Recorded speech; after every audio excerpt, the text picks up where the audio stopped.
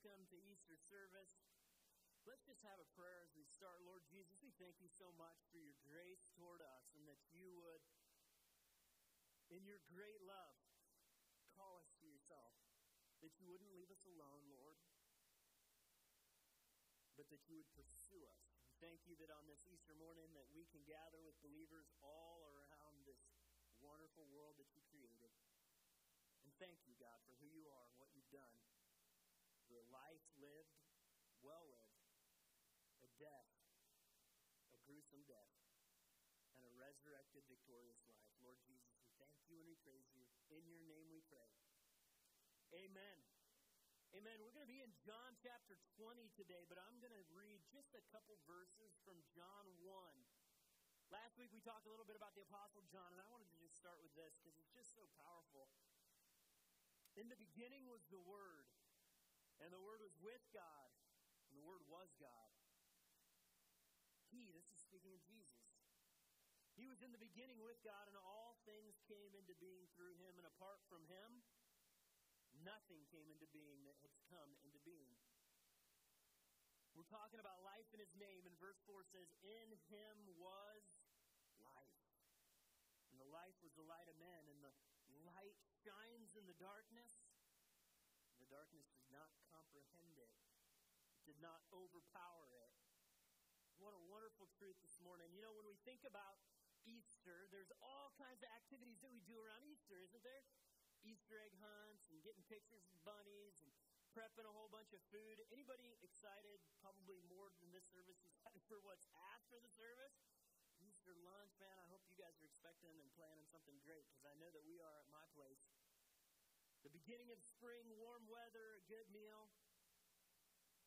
But what you see on the outside of an event isn't always the same as what's truly on the inside of it. Because on the inside of Easter, what's really going on is way bigger than any Easter egg hunt or the beginning, beginning of spring or the warm weather that we're all celebrating today.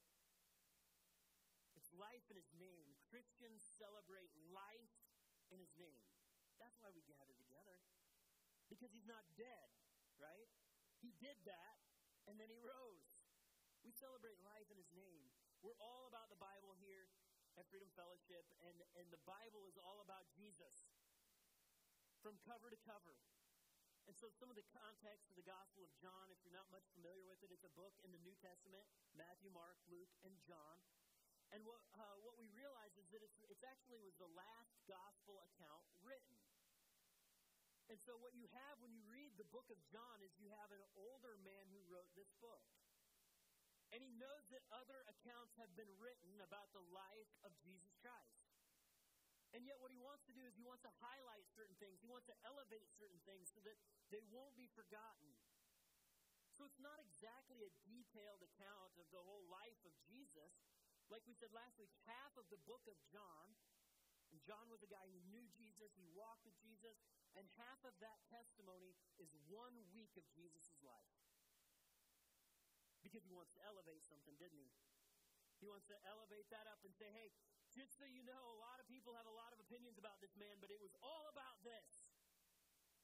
The fact that he lived a perfect life, and the fact that he testified to be the Son of God, the Messiah. You know, for some of us that are Christians, we kind of laugh because when we say that Jesus Christ, his last name wasn't Christ, was it? People are like, some people are, what? Oh, really? I thought that was like a kind of cool last name. It's a testimony of who he is. He is a Christ figure, he is a Messiah, he is a deliverer. He came for a reason, and we've given him a title that elevates him above everyone else.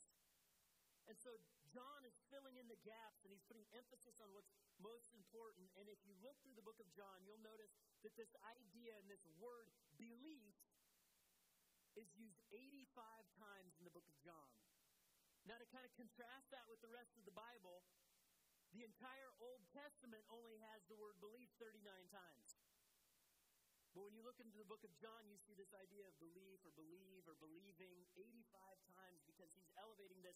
He's looking around and he's seeing people who lived and saw Jesus' resurrection. He's dealing with all these apostles and these different people who are being martyred for his namesake, for Jesus' namesake, and he's looking around and he's seeing a transition of older, younger people coming, you know, being born, and years after Jesus' life and resurrection, he's saying, You have to believe this.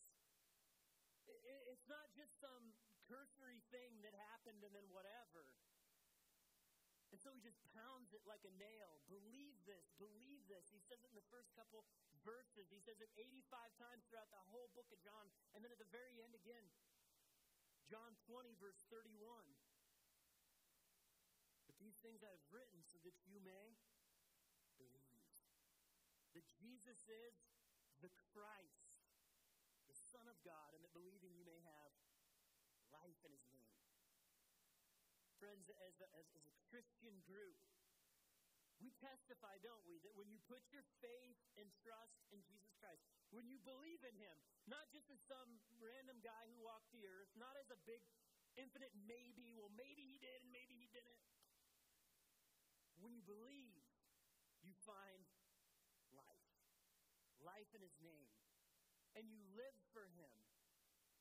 The whole reason for your existence changes and you realize that every single thing that you can do, whether you're working in, a, in, a, in all the different workplaces that exist in this world or you're working at home, that everything, all work done, can be done for the glory of His name. And that you live in His name. This is what the Christian life is all about. And yet I understand this, but in this idea of belief, believing can be hard believing can be hard. You know, it's hard to know what's real and what's not real. In a world of edited videos and false testimony and tilted opinions, people making statements, and you're like, do they really believe that? I wonder why they say that. It's hard to know what to believe. And so, for a little bit of fun on an Easter morning, you guys can humor me a little bit, all right? We're going to lighten the mood just a little bit. The last two weeks, several times I've heard about this show that's on TV called Is It Cake? You guys heard about this? Anybody seen this? Several people are like, no. Some people are like, yes. Some people are like, wish I had. Is it, is it cake? And I thought that this was kind of fun because when you're on the outside of something, you look at it and you think it's one thing, but the question is, is it cake? Right? Is it cake? Because on the inside, once you really get in there, sometimes it's not exactly what you thought. So we got a first picture here, and here's the question is it cake? yes. How do how? So there are some people who know what this show is all about. So I say, is it cake? And y'all look at me like, Pastor Ben, that's not spiritual enough. It's Easter. Is it cake? Hit it with the next slide there. Uh, well, of course it's cake. Looks like it's steak, but it is cake. That one would trick any of us that are, you know, on a diet. Then we'd eat it probably faster. How about the next one? Flip that one up there. Cake we got it. we got a section over here that's like, I know this. Go ahead and flip it up there. Of course, it's cake. Now, a couple of weeks ago, I was talking about the imitation, and then I was talking about the real thing. And I used an illustration of an imitation, and then I introduced the real thing. So go ahead and flip the last one up here. This is just for fun. Cake! It's a bag of Doritos. But Doritos is the real thing. But in this case, it's cake. It's cake. Here's the thing. Go ahead with the next slide. Enough silliness. You guys are like, all of a sudden there's life in the house because it's cake. You can see the outside of so many things. You know, when you walk up to the crucifixion, what you're watching is a man dying. And if you walk and looked at that tomb, you would just see a tomb. On the outside, it looked like a tomb that Jesus was put in, but on the inside, what we realize is he wasn't there He resurrected from death. On the outside, a lot of us shine up pretty good. I got some compliments on my flowery shirt this morning, shine up pretty good. But on the inside, God's looking at the heart, isn't He? On the outside, we can look like everything's going on really well, but on the inside, what do you do when you don't really understand what's going on? What happened on this first Easter morning? Let's just go and let's jump in, should we? John chapter 20, Verses 1 through 10, we're going to look through. Jesus has been crucified at this point. He's been hung on a Roman cross. He's been taken down off that cross. He's been put into a tomb. That's what's happened when we jump into John chapter 20, verse 1. Now, on the first day of the week, first Easter, Mary Magdalene came early to the tomb. While it was still dark, stone had already been taken away from the tomb. So she ran and she came to Simon Peter and the other disciple whom Jesus loved. Pause for a second. That's code word for John. That's the guy who, who wrote this gospel for us, the disciple whom Jesus loved. And he said to them, She said to them, They have taken away the Lord out of the tomb, and we do not know where they have laid him. So Peter and the other disciple went forth, and they were going to the tomb. The two were running together. And the other disciple ran ahead faster than Peter and came to the tomb first. And I just paused for a second about that silly little thing. Now you have two men running in the morning in ancient Jerusalem. And I just think it's kind of funny. Right at the beginning of the day, right at dawn, and they're running, and it says, the other disciple ran faster than Peter. So John was actually younger than Peter. So for you older men, that's okay. Sometimes the younger men, they can run faster, right? And so John got there first. That's, that, was, that wasn't the Easter miracle. That would be expected. And then stooping and looking in, verse 5, he saw the linen wrappings laying there, but he did not go in. And also Simon Peter came following entered the tomb, and saw the linen wrappings laying there. So you see, the young guy got there first, but guess what? He didn't have the guts to go in. He kind of stopped and, like, what? When Peter gets there, he, he goes right in. He sees a face cloth which had been on Jesus' head, laying not laying with the linen wrappings, but rolled up and placed by itself. So the other disciple who had come first to the tomb then also entered, and he saw and believed. It's John, verse 9. For as yet they did not understand the scripture that he must rise again from, from the dead. So the disciples went away again to their own homes. First point for today on this wonderful Easter Sunday is this seek to understand. Seek to understand. Verse 9 says this they did not understand the scripture that he must rise again from the dead. So the disciples went away again to their own homes. Here's the thing with Easter some of us don't understand. We don't understand. We look at things from the outside and we, we buy all the right things and we do the thing that, you know, we kind of smile and nod. It's like, what, what do you do when you don't understand? Sometimes you'll be looking at things on your phone, and if we hit anything that we don't really understand, nine times out of ten, we do not research it, do we? We're like, I don't know, shrug and.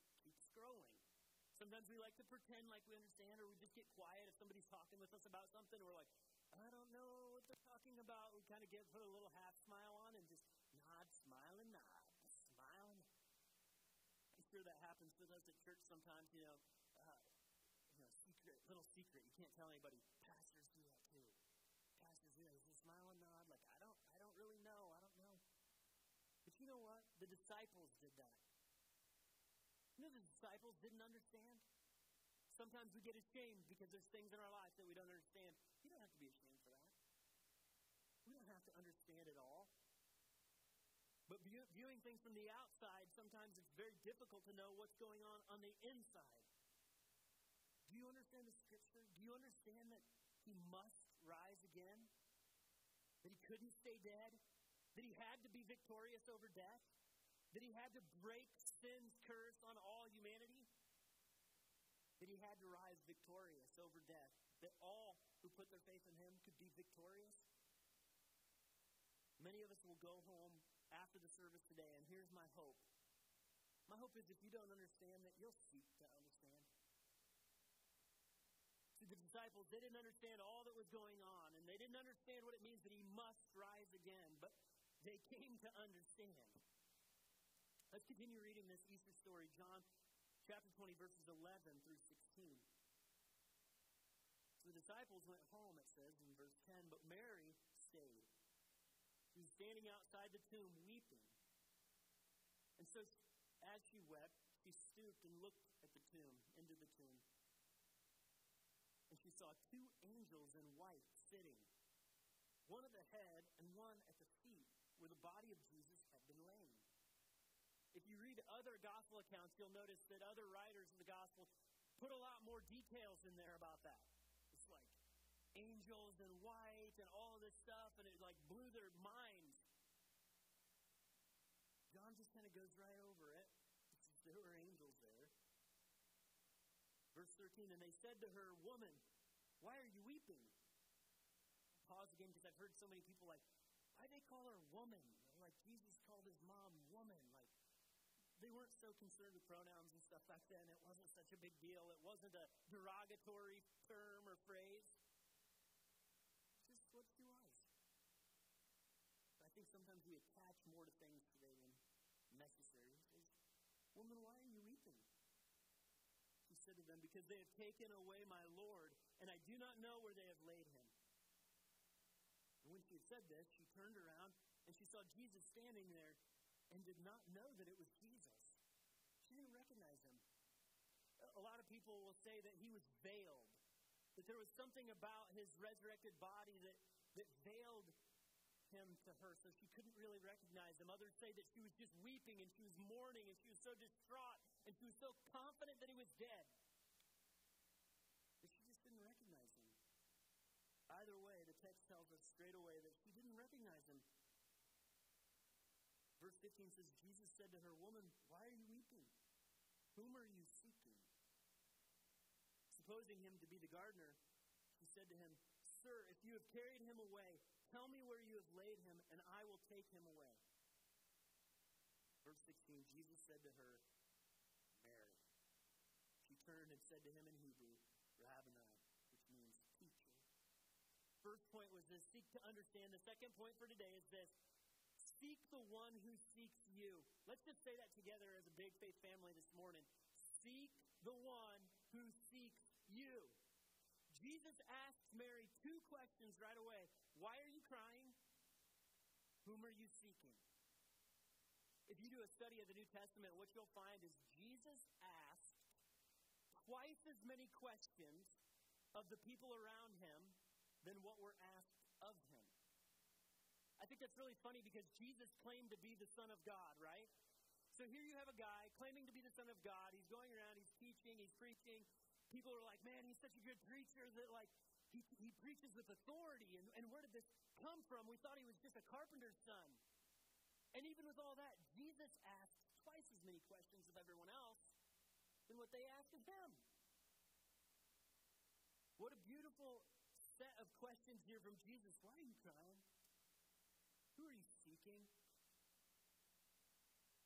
When we look at it a little bit closer, the very first question Jesus ever asked is recorded in the text. The Gospel of, of John as well. He says, Who do you seek? Who do you seek? It's the difference between looking at the outside of something and looking in the inside. Jesus always was asking penetrating questions because he wanted you to identify your own heart. He could go around just preaching and telling everybody what to do all the time, but when he starts asking questions and you have to start answering those questions, all of a sudden it becomes a little bit more real, doesn't it? Do you have sadness today? Do you have lack of fulfillment? Are you seeking for something in your life? Is there something not quite right? Do you? What do you really want? Better yet, if a genie showed up and granted you that wish of the thing you really want, would it help?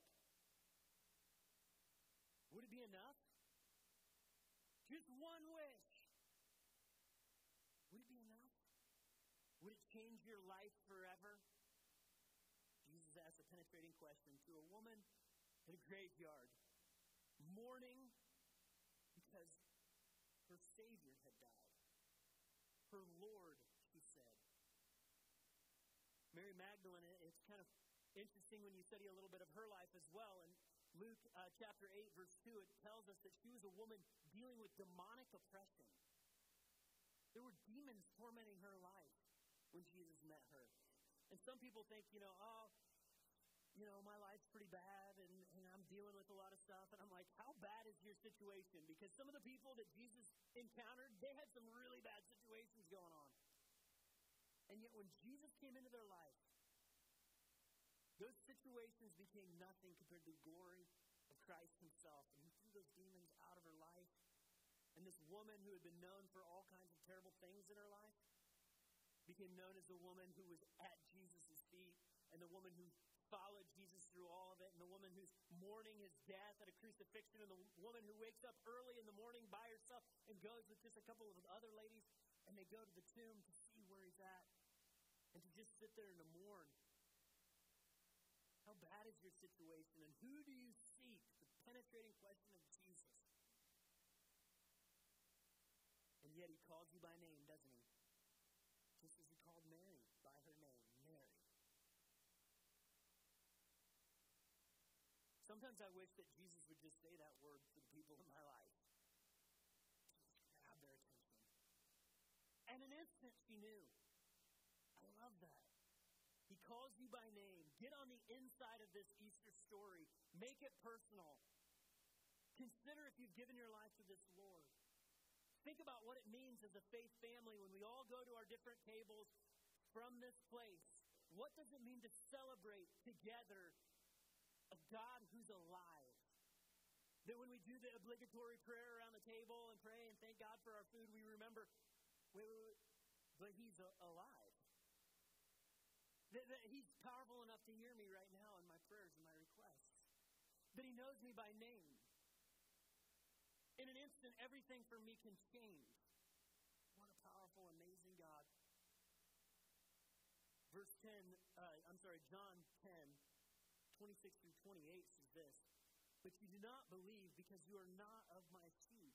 My sheep hear my voice, and I know them, and they follow me. Do you know the voice of Jesus Christ? He says, And I give eternal life to them. Life is what we're talking about, life is what we want. So many Americans living a life that they just hate. So many Americans living a life that they think isn't worth living. Friends, we want life and life abundant, don't we? In John 10 28, he says, I give eternal life to them, and they will never perish, and no one will snatch them out of my hand.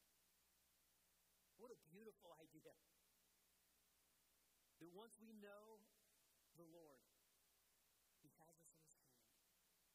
He will carry us through all life's ups and downs. He will carry us through all the tragedy, all the heartache, all the hardship, all the joys as well, and all the peaks and all the mountaintop experiences. When He has us in His hand, it's up to Him to keep us, isn't it? The Lord has us. There's nothing that will tear us out of His hand. Let's continue looking a little bit further as we read John chapter 20, verses 19 through 21. It says, So when it was evening on that day, the first day of the week, why do we come to church on Sundays? First day of the week. It's Resurrection Day. You know, every single Sunday that you've ever gone to church, the fact that you showed up to church on a Sunday is a proclamation of the resurrection of Jesus Christ. Sabbath is for the Jews is on a Saturday. Resurrection is on a Sunday. The first day of the week, when the doors were shut and the disciples were there for fear that the Jews, for fear of the Jews, I'm sorry, Jesus came and stood in their midst and said to them, Peace be with you. When he had said this, he showed them both of his hands and his side. And the disciples rejoiced, for they had seen the Lord. Verse 21 So Jesus said to them again, Peace be with you, and as the Father has sent me, I also send you. Here's the next point for today is this seek to show others. Seek to show others. Verse 21 says, As the Father has sent me, so I also send you. The disciples were cowering in this inner room because Jesus was killed. And they thought, surely anyone who is following this guy Jesus would also be killed for following a false Messiah, a false prophet. And they knew the religious leaders were very capable of doing just that because they had accomplished in killing Jesus the Lord. They were cowering, they were confused, they didn't understand. And yet Jesus said to them, I send you. There's so many things to teach about on an Easter Sunday, and you know, obviously you got people and you're hoping that they put their faith in Christ. Maybe they don't know him very well. But for those of you who are believers, I want this to settle in on you. seek to show others. Seek to show others. In a cowering room, the disciples sit. Jesus shows up and says, I send you guys. It wasn't the guys that were all prideful and arrogant and ready to go and Jesus will do anything for you. Peter already did that, didn't he? And we know how that turned out. He denied him. And yet Jesus says, I send you. There's a pastor, John Piper, says this there are two types of people. Two types of people missionaries and mission field. Missionaries and mission field. Here's the thing you're a missionary. You follow the Lord Jesus Christ, it doesn't matter if you've been following him for one day, one year, 50 years, you're a missionary. We are ambassadors. We are a living testimony of the Lord Jesus Christ. We are called by name and we are His. Do you have doubt? You know, there was a person in this gospel account, we won't get into it a whole lot. But there was somebody that had doubt, wasn't it? Doubting Thomas. And if you want to read some of the account, I'll read just a verse or two here. Thomas said to Jesus, or t- said to the disciples after this account in the room, Jesus disappears again, and there was one guy that wasn't there, Thomas. So the disciples are all pumped up. They're like, dude, we saw Jesus, and we saw the thing in his side, the hole in his side. We saw the nail pierced hands. We saw him. We saw him. Thomas thinks we're crazy, doesn't he? This is stupid. No way. Unless I see his hands and the imprint of the nails unless I put my finger into the place of his side. I will not believe. It's all about belief, friends. John 20, verse 27, it says, Then Jesus said to Thomas, a little later on, Jesus shows up again. Reach here and put your finger in. See my hands? Reach here, put your hand into the place of my side. And he says, Do not be unbelieving, but believing. Answered and said to him, My Lord and my God. A real, real rough translation of that, as accurate as possible, would say, The Lord of me and the God of me. What a response. The Lord of me and the God of me. If you had an interaction with the Lord Jesus Christ that yields that kind of faith, that is the Lord of me and the God of me, I will do what you want me to do, Lord. I will be who you want me to be. You're the one who defines me. You're the one who calls me. I will seek to show others because your life matters. And no one has life until they meet the life of Jesus Christ the Lord. We want abundant life, don't we? We want to seek to understand. We don't have to know it all, but we seek Him. We seek the one who seeks us. We seek to show others. And the last one is this seek life in His name. Seek life in His name. It's what we've been talking about this entire time. John chapter 20, verse 31. But these things have been written so that you may believe that Jesus is the Christ, the Son of God, and that believing, you'll have life in His name. As the worship team kind of makes their way up, the question for you is do you believe? And for so many of us in this room today, we do believe. We believe so much that we'd get out of our house and we'd gather with believers all around the world and we would proclaim the power of a resurrected Lord. We would say, it makes no sense to the unbelieving world. And though I don't understand all of it, I believe that he rose again from the dead. Jesus made a lot of claims during his life. But the paramount fact of Jesus' life is that when he rose again, he was proving all that stuff he said was true. That he had the power to overcome death and he has the power to overcome sin. It all starts with belief. John 11, 25. This was before Jesus went to the cross. It was around that time when he was talking with Lazarus' sisters because Lazarus had died. We talked a little bit about that last week. Jesus said this. He said to one of Lazarus' sisters, I am the resurrection and the life. He who believes in me will live, even if he dies, and everyone who lives and believes in me will never die. Another question you believe this? I love that Jesus called himself the resurrection and the life. But thinking later on, oh, guys, remember when he said that he was the resurrection and the life? Then we came to the empty tomb and we couldn't even know what's going on. I don't understand this. I'm kind of confused. I think I'll go home. Well, I hope today that you don't go home confused by Pastor Ben's musings and ramblings about Easter. Let's pray and let's have this opportunity to worship once again our risen Lord. Lord Jesus Christ, we are very aware that on the outside, things can look a whole host of different ways. They can look really good. And yet on the inside, they can be really bad. Lord, on the, uh, when he came to the tomb, on the outside, it looks really bad because it's a tomb, it's a graveyard. But on the inside, there was no one there. God, could we as a people stop judging things by the outside? Start being concerned very much with what's on the inside. And as Christians and people who follow you, Lord, could we not be so impressed with our outsides? Start wondering what it means to follow you in truth on the inside. God, if there's anyone here this morning that hasn't made that commitment to follow you, they would know that you're pursuing them, and maybe, Lord, they would start to seek the one who seeks them, and that they would repent, which means that they would just agree with you and start putting all their faith and trust, questions in their life, they start asking you. All the direction in their life, they start just seeking and turning to you. That they would do that today, Lord. They would repent and believe, as your word says. Father, for the rest of us today, let us enjoy the beauty of a morning. Let us enjoy, God, the life that is popping up all around us. And let, may all of it remind us of your resurrection life. Before we go from this place, Lord, bring us together in a song to praise you